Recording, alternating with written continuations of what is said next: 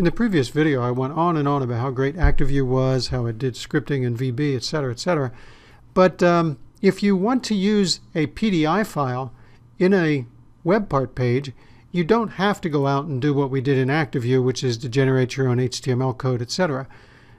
There is available something called the Pi ActiveView web part. And with that ActiveView web part, you can simply host the PDI file directly. So you don't have to do all that coding.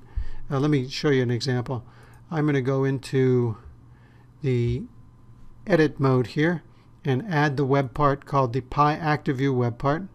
Just to note, ActiveView itself is a separate license.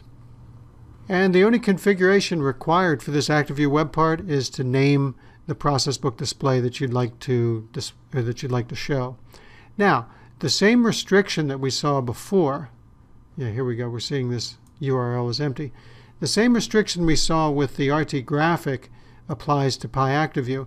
This SVG file in, our, in the Pi graphic, well, that has to be on a document library. That's the same restriction for this PDI file that you would use in the PI ActiveView web part. So if I go out and I can find this, yeah, here it is, it's called main column bottom.pdi. I'm going to have to upload that to my document library. So let me exit this for right now. I'll go back into my CBT demo page to go into the document library for the process book files and I'll upload this file. And we're getting the actual PDI file, not that, um, not the SVG that was exported for the Pi graphic web part. Now this happened to be under Labs, AV Pages, and here's the PDI file. So any code that was embedded with that, any use of the batch add-in or SQC add-in would be preserved here. I'll go ahead and upload that. Now uh, that is now on my display here. And let me go ahead and now make use of that. If I go into CBT demo docs, I'll find this web part page that has my ActiveView. And here it is. Here's what I had just added just a second ago. And let me go into edit mode again.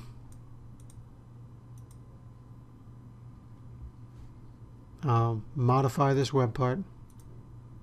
This is my Pi ActiveView web part.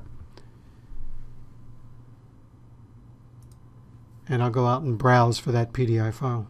So all the other functionality that we associate with the uh, SVG, you know, the uh, setting the context is available with this. I'll go ahead and browse up one level. Yeah, here it is. It was under CBT demo docs. Oops, wrong location. Here it is, process book files. And there we go. See, it's looking for a PDI file. It doesn't even show the SVG here. I'll go ahead and choose open. And now what we've got, we're looking at the um, that display, but now rendered through ActiveView.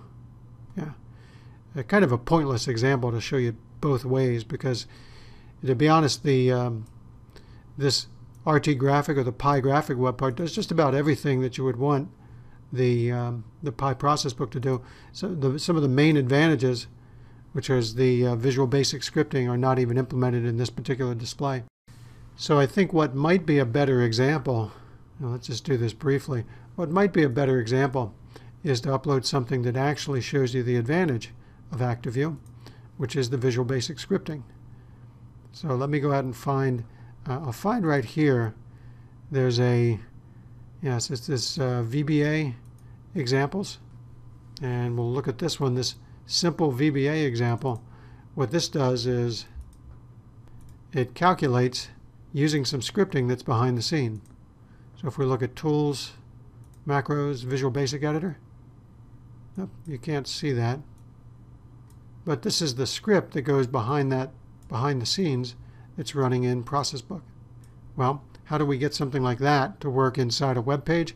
Well, we do it through the Pi ActiveView web part. So let me go ahead and upload that.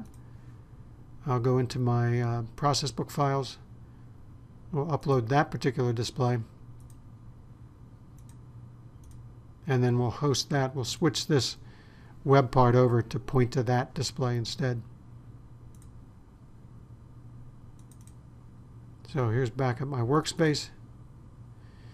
And now, so let's replace this pointless example with a more to the point example, an example of something you could not do with act, or without PI ActiveView. So I'm going to go ahead and modify this.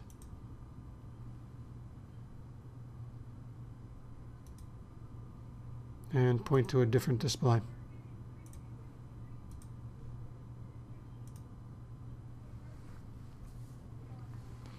And the big finish, go ahead and do a recalculate.